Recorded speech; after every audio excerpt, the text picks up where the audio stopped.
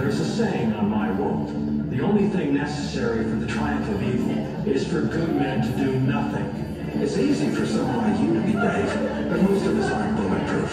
Sir, I stand up to guys more powerful than I am all the time. You can do the same. Ladies and gentlemen, it's a responsibility to must stop. bear.